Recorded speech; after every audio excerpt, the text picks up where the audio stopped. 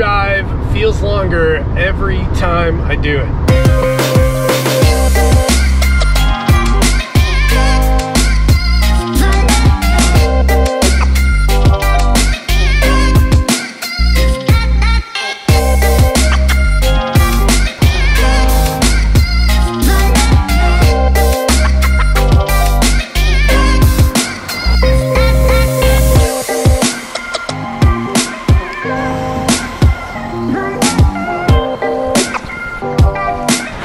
Crossing that road is always a little bit nerve-wracking. okay, we are back in New Hampshire's White Mountains today to get some vertical elevation gain. Uh, the weather was looking a little questionable, so this loop is tough because a large portion of it is runnable, but then it gets really steep right near the peak of the mountain. In total, I'll be running nine miles with uh, 2,600 feet of elevation gain today. That's the plan at least. We'll see how it goes.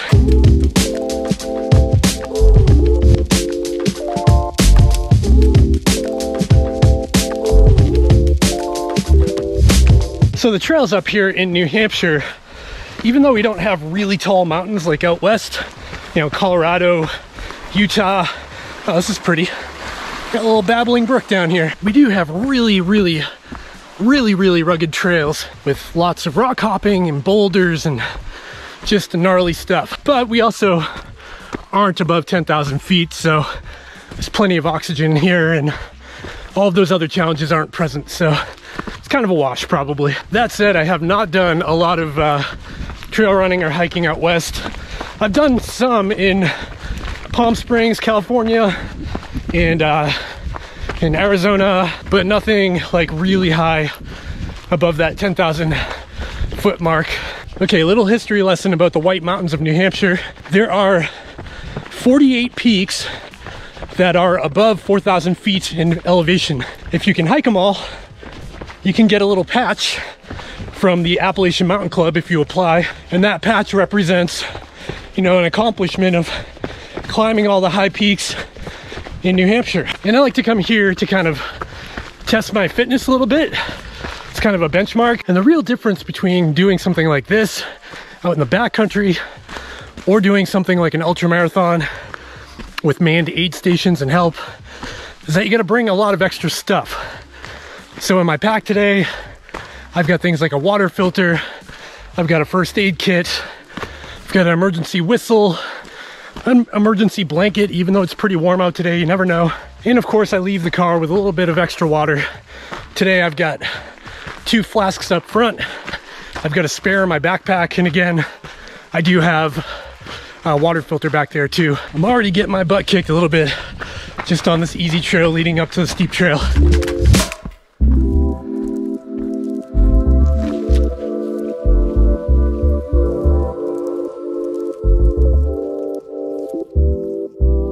Just love this area on this trail.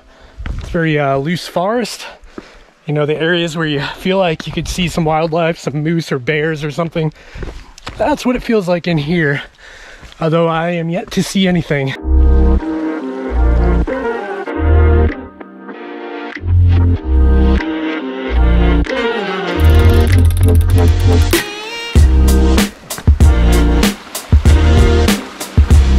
Talk about defeating the dad bod. Maybe I'll even title this video that. But I don't want to say dad bod because that's not inclusive. So let's call it the parent bod. How about that? If you've got kids and you're a somewhat active person, you know what I'm talking about. The struggle is real and uh, not everyone appreciates that. So how do I manage it? How do I still get out here while having three kids, full-time job, all the things that I'm sure a lot of you have well, there's a few ways I try to manage it. First of all, it's planning. It's all planning, really. My wife and I share a Google Calendar, and as much as I hate it because I'm kind of spontaneous at the core, I plan ahead. I put my PTO days on the calendar at work for random days off throughout the week, and I'll come out here because, you know, ultimately this is this is the stuff that makes me happy. So it's worth using that time to do this stuff. The second thing that helps me manage all of this is being adaptive. Adapt and evolve to the situation. So if I've got something epic on the calendar, that's gonna take me 12, 13 hours with driving back and forth. And then maybe one of my kids gets sick, something comes up. I can't get mad about it. I just have to pivot and do something else, maybe closer to home, maybe a little bit shorter, just adapting to whatever situation you're given. The next key ingredient to defeating the dad bod is to not get frustrated and be understanding. So for instance, this weekend, I was supposed to be camping in Vermont, running the Vermont 100. Supposed to be a glorious weekend. That all got canceled. But if you still find a way to lace up your shoes like I am today and do something else that may be not as epic, but still beneficial to you, it's worth it. It's always worth it. I promise it's never not worth it. And I'm sure my wife is watching this and being like, he still gets really mad when he can't do his thing. It's true, but I'm a work in progress. I'm just sharing what uh what I'm trying to do here. And the final tip I'll share about defeating that dad bod, or parent bod rather, is gonna be to support the people in your life that have goals and they'll support you back. A great example of this in my personal life is my wife. She's got her personal goals. I've got my goals and we both get after them together. And without her, I wouldn't be able to do this. And without me, she wouldn't be able to do her thing. And it's a mutual respect.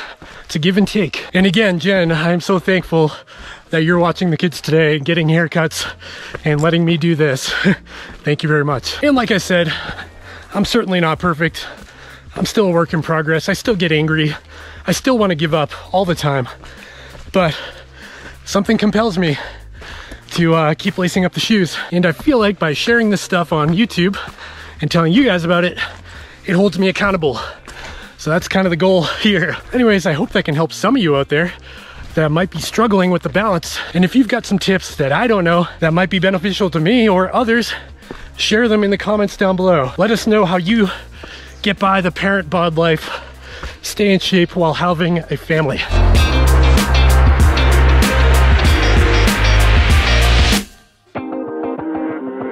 Okay, we are officially on the steep terrain on North Hancock and it started raining. So all this steep stuff is very wet and muddy and gross. Slippery. But we're still moving.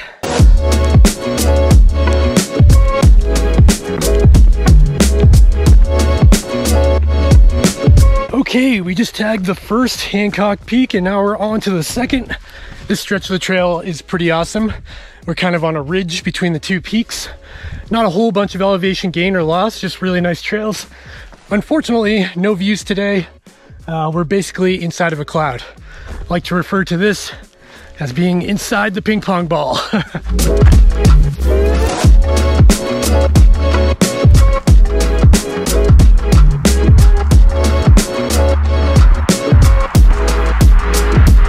oh man, it is so wet up here. It's raining, it's humid, I'm sweaty. I don't know if you guys can even see me right now because my GoPro is soaked. It's a very wet day. I, every bit of me is soaked through. Shoes, shirt, shorts. Yeah. okay, we just tagged the second peak for the day. That just about wraps it up in terms of elevation gain. And uh, now it's all downhill from here. So I'm gonna start motoring because I'd like to get back to my car and out of this rain.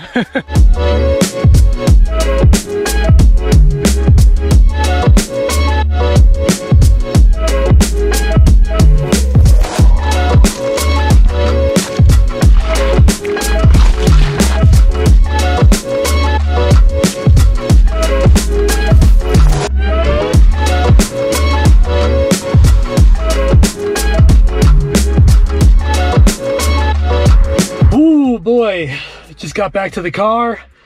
Uh, that took me three hours and 16 minutes, which is a lot slower than I anticipated, but it's really wet out there, pretty slippery, so that definitely slowed me down. All in all though, pretty fun day out here on Mount Hancock, north and south. Uh, got nine miles and 2,700 feet of elevation gains. I hope you enjoyed this jog in the woods with me today. I hope you got something out of it.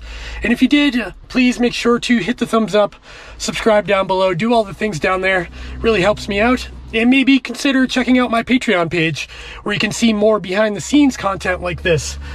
Costs a couple of bucks a month, but it does help out the channel quite a bit. Anyways, I'll see you next time. Bye.